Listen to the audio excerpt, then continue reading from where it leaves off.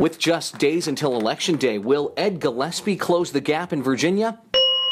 A new Virginia Senate poll released Friday from Christopher Newport University puts Republican Ed Gillespie seven points behind sitting Democratic Senator Mark Warner. It is an improvement for Gillespie, who was trailed by double digits for almost the entire race, but it probably won't be enough to overcome Warner's wide popularity. Just 3% of voters say they are still undecided, making it nearly impossible for Gillespie to close the gap in the days ahead. Election Day is November 4th.